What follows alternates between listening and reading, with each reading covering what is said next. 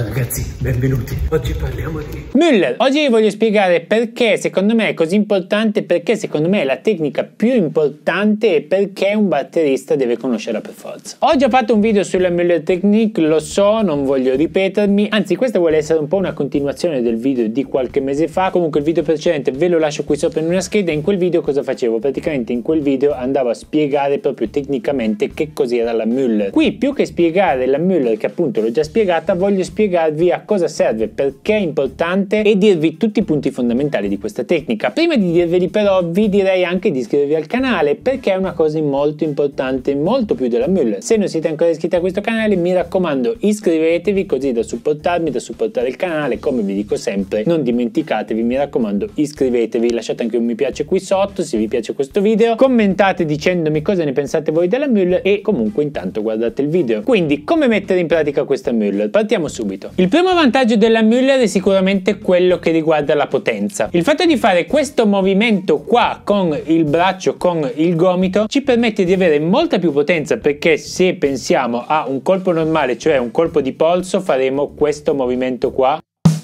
e ok va bene sarà un colpo anche forte ma nel momento in cui andiamo a dare un colpo facendo questo movimento e poi col colpo di frusta della Müller andiamo a impattare contro la pelle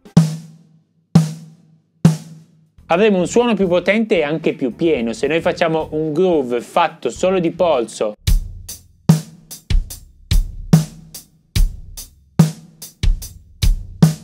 oppure andiamo a metterci la Müller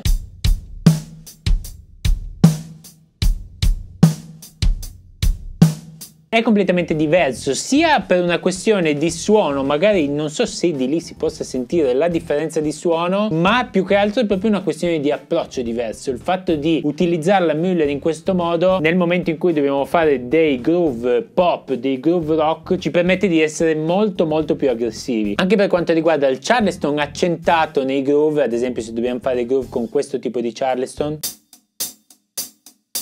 in questo caso andremo a fare la Müller bassa, cioè quella di polso. Vi ricordo, se non sapete di cosa sto parlando, di andare a vedere l'altro video in cui vi spiego bene che cos'è la Müller. E grazie a questo movimento di polso abbiamo la possibilità di dare dei colpi più forti e degli accenti senza fare una grande fatica.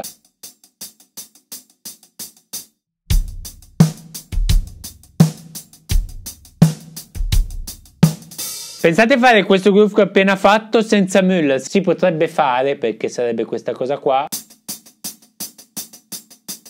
ma è molto molto scomodo, molto stancante e non riusciamo ad arrivare o comunque dobbiamo fare troppa fatica per riuscire a suonare oltre una certa potenza, diciamo. Uno degli aspetti più importanti ma più sottovalutati soprattutto all'inizio, quando mi capita di spiegare questa cosa agli allievi sono sempre un po' scettici, poi quando si capisce l'importanza di questa cosa cambia totalmente la questione, ma la Müller principalmente serve a preparare il colpo che andremo a dare dopo, perché finché siamo a velocità basse non abbiamo nessun problema, ma nel momento in cui la velocità cresce dobbiamo andare a preparare il colpo che dovremo dare dopo perché se no non abbiamo abbastanza tempo. Pensate a un paradiddle, se io facessi un paradiddle normale, ve lo faccio qua sul Charleston, a velocità bassa io posso fare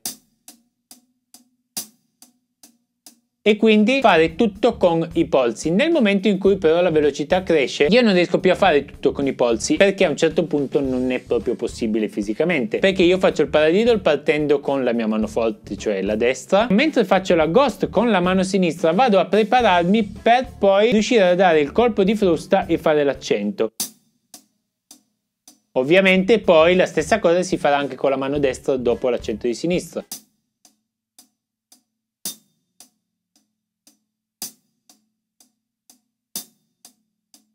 Quindi fatta questa velocità non serve più di tanto, potremmo farlo sempre con i polsi come ho fatto prima, ma man mano che aumentiamo la velocità, questa cosa che sto facendo col gomito, cioè il fatto di suonare la ghost ma prepararmi per dare il colpo di frusta quando darò l'accento con quella mano con cui ho preparato il colpo, sarà fondamentale perché non avrei proprio il tempo di fare il movimento con la bacchetta su e poi con la bacchetta giù come invece faccio col polso normalmente, quindi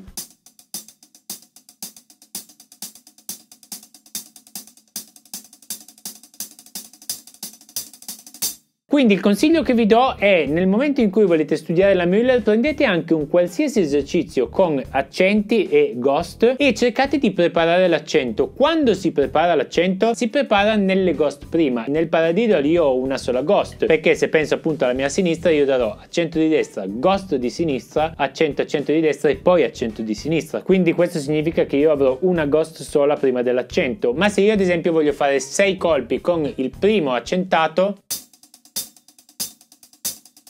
allora cosa succederà? La sinistra farà sempre ghost, mentre la mia mano destra farà accento, ghost, ghost, accento, ghost, ghost. Quindi la mano destra farà questo. E la mano sinistra andrà a infilarsi sempre tra ogni colpo di mano destra. In questo modo quando dovrò fare l'accento sarò qui come posizione e l'unica cosa che dovrò fare per fare l'accento sarà quella di tirare giù il gomito. Tirando giù il gomito e lasciando la mano morbida senza perdere le bacchette ma lasciando la mano morbida succederà questo e darò quindi il colpo di frusta della Müller. Questa cosa di cui vi ho appena parlato, cioè la questione di preparare un colpo ci serve sempre e ci può servire sia per suonare i groove, ma questa cosa fondamentale della preparazione dei colpi serve anche per un qualsiasi fill. Se noi pensiamo ad esempio a un fill tutto in sedicesimi, tutto sul rullante in cui dobbiamo accentare una nota ogni tre, cioè questo, Dovremmo farla la Müller, una volta con la mano destra e una volta con la mano sinistra e verrà questa cosa, ve lo faccio sentire il primo piano.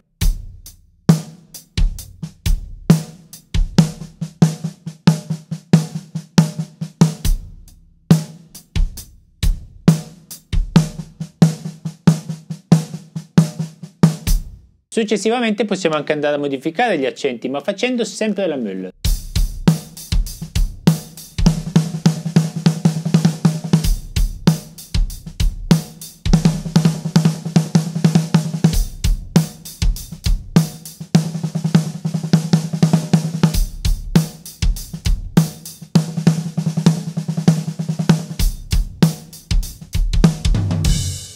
Stessa identica cosa vale per i tom. Nel momento in cui andremo sui tom o sui timpani sarà la stessa cosa, dovremo sempre preparare il colpo con il nostro gomito. Io solitamente cerco di prepararlo verso il tamburo che poi voglio andare a colpire dopo. Quindi se io preparo con una ghost sul rullante e poi voglio andare sul tom, il mio gomito andrà verso avanti perché il tom è avanti. Se voglio andare sul timpano, il mio gomito andrà verso il timpano, sempre proiettato in avanti come la mia Müller vuole, ma un pochettino più verso il timpano. E così vale anche per la sinistra. Se io voglio andare sul Charleston andrò un po' verso sinistra, se voglio andare sul Tom andrò avanti.